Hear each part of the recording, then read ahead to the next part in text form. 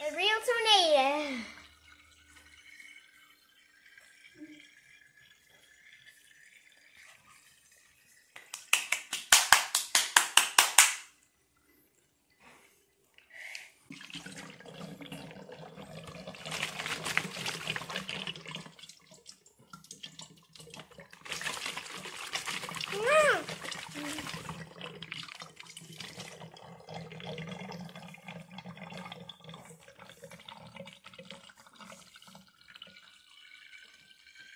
Looks like a hurricane at the top.